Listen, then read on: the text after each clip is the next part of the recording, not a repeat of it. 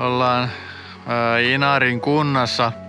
Ei ihan vielä siellä Inarin, Inarin keskustassa, mutta, mutta tota, tässä paikassa on semmonen pieni tämmönen muisto. Me oltiin tällä paikalla niin vuonna 2014 jäämerireissulla, niin tässä me kuvattiin sitä avominiä. Ja silloin ihastuttiin tähän paikkaan ihan tosissaan.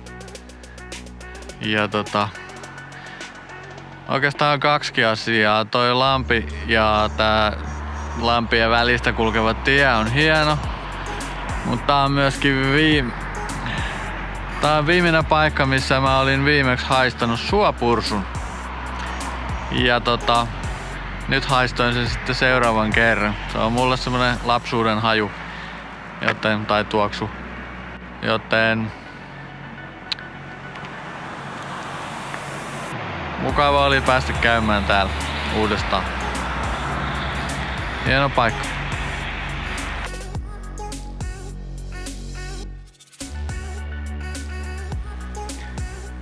Ei vois paljon enää kirkasvetisempää lampea olla.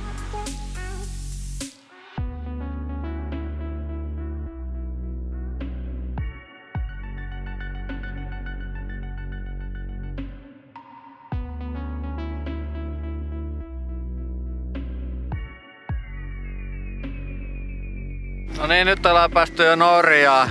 Ollaan aika komealla paikalla. Meinattiin mennä ohi itse asiassa, mutta äh, onneksi ei menty. Eli tästä on tämmönen leväkki. Tuosta takana on ihan tommonen, no ei nyt kauhean korkea, mutta kuitenkin jonkunnäköinen pudotus ja, ja komeata maisemaa takana. Meillä nyt näyttää olevan aika huono tuuri tämä sään suhteen, eli kun päästään tämmöiseen näköalapaikkaan, missä olisi jotain kattomista, niin, niin totta kai vettä tulee alas. Ei ihan niin paljon kuin Ekkerössä tuli, mutta tota, täällä on tämmönen tuuli ja vihma ja ei ole varmaan kauheasti yli. Tai siis no alle 10 astetta täällä on lämmintä. Vaikka elokuun alkupuolta onkin.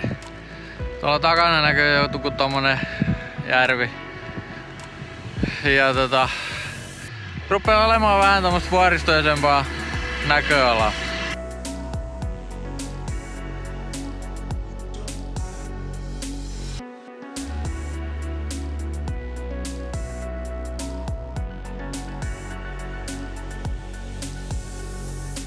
Nyt ollaan saavuttu aika tämmöiseen merkilliseen paikkaan, eli öö, Grense Jakobs Elv. Eli se on Norjassa aika lähellä Venäjän rajaa. Täällä on tommonen kappeli, kirkko. Tie oli ihan hirveä. Ei niinku... Ei voi oikein pahempaa tietää enää keksiäkään. Mutta tota... No, toi kappeli on hieno. Ja siis muorimaisemat täällä on aivan mielettömät. Ja tästä nyt ei hirveästi näe niitä, mutta mutta kuitenkin. Terve. Nyt ollaan päästy metaloppuun maa. Me ollaan nyt Norjassa menty tätä itärajaa pitkin niin pitkällä kuin pääsee. Tuolla on vähän aallot rantaa. Jäämeri.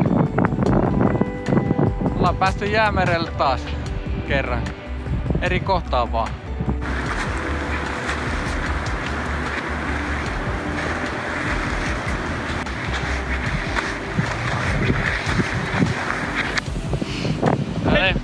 Jäämerellä ollaan taas.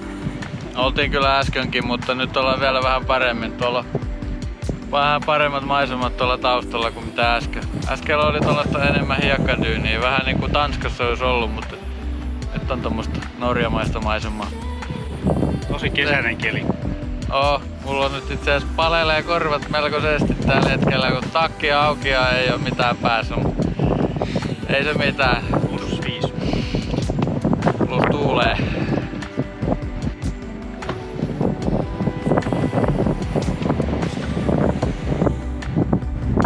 na autak u vodu.